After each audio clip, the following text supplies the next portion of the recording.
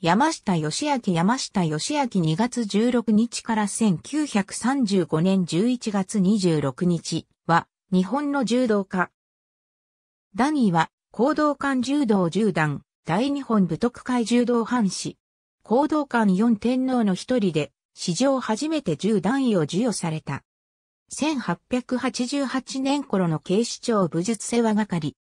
最前列左から二人目が山下義明慶応元年2月16日、相模国小田原藩の武芸の指南役の家系に生まれる。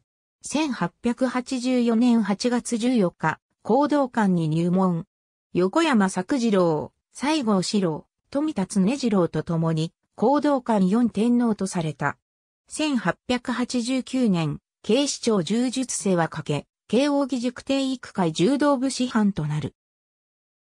1902年、アメリカシアトルに渡米、演舞や講話を通じて、柔道の普及に尽力。1905年3月29日、ワシントン DC で、ジョージ・グランドという体格ではるかに上回るレスラーと、試合をし、抑え込みで勝利した。これを見ていたセオドア・ルーズベルト大統領に認められ2年契約で、合衆国海軍兵学校の教官となる。1907年、契約期間満了に伴い帰国し、その後は行動官の指南役を務めた。1924年、警視庁保守の形制定に尽力。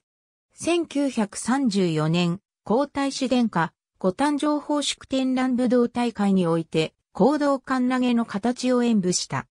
1935年10月24日、加納治五郎より、終始一貫指導の普及に努むめその成果国内にペンクエンク海外にも、及びビソの功績局めて顕著なりとされ、行動監視上初となる銃弾を贈られる。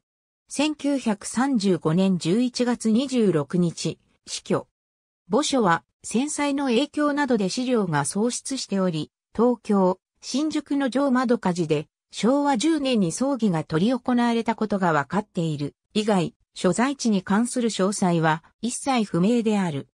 一部で名前の読みを吉明とする文献があるが、これは誤り。山下義明行動館公式サイト昭和10年10月24日授与。2018年現在、柔道10段を授与された者は山下を含めわずか15人である。行動館の資料にも墓所を記す記録書などは残されていない。ありがとうございます。